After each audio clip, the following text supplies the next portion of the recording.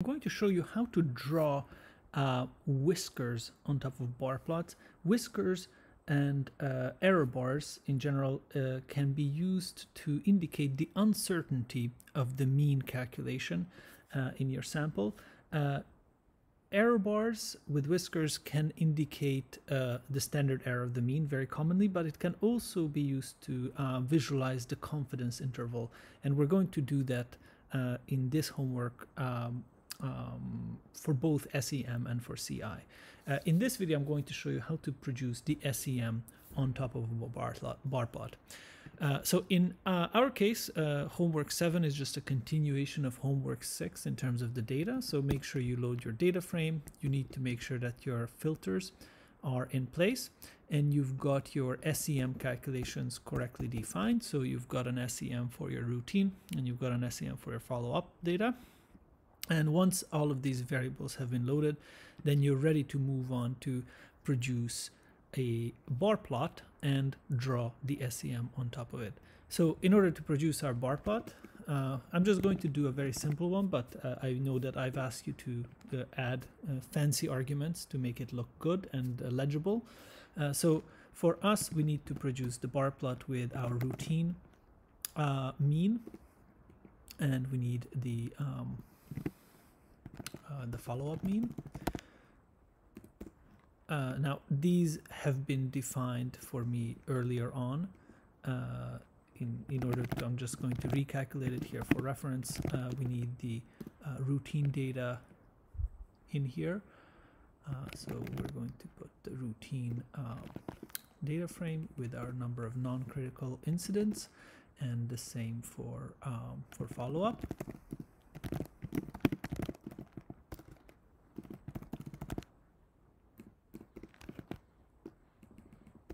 Like so. So our means have been defined, therefore you're ready to produce your bar plot. Now, one particular argument that is necessary here uh, is uh, a Y limiter, um, just to make sure that the top of our uh, whisker and the bar plot is visible and it's not out of view.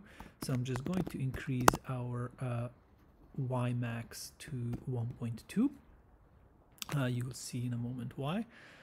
Um, now we're ready to uh, create our bar plot uh, and draw the, the, the error bars on top of it. Now, before we do that, there's one additional change we need to make to this bar plot. We need to assign our bar plot to a variable, which is kind of a weird thing to do. But when we do that, and I'm just going to call, call this variable uh, graph.midpoint, when I do this, uh, I'm going to, and I'm just going to output two value, the values that this variable contains. It contains the values 0.7 and 1.9. These are uh, x values indicating where the midpoint of these uh, bar plots are. So 0.7 is this line here and uh, 1.9 is going to be this line. So if you count out from from the left side towards the right. 0.7 is this area here and uh, uh, 1.9 is this area. And so that will be helpful for us when we draw arrows arrows on top of the bar plot. And so these this uh, uh function arrows is always used in conjunction with some kind of a plot bar plot uh, or uh, or just a regular plot uh, and it allows you to draw graphically draw an arrow of any kind on top of your um, on top of your visualization. Now in our case this arrow is going to be a really fancy arrow. It's not going to have arrow bars but instead it's going to have the flat lines, the whiskers and so we're gonna have to style it as such and we're gonna have to uh, tell where the arrow starts and where the arrow ends. So our first argument in this arrow function is going to be where the uh, arrow should start. And so what we're going to do is just to imagine visually, we're going to create a starting point for our somewhere here, and it's going to stop somewhere here. And the same thing for this bar, it's going to start somewhere here, and it's going to stop somewhere up here. And so uh, we need to define this dynamically for our uh, for our uh, function. And so in each of these cases, the starting x value, so when we draw, imagine that we have this space here, we need to specify an x value, as in how much to the right to go, and we need a y value, how much down we should go uh, in our in our uh, value.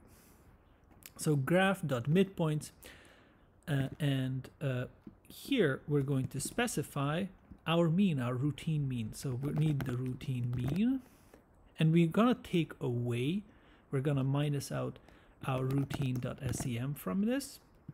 So we're gonna start from not the mean, but below the mean by the value of the SEM.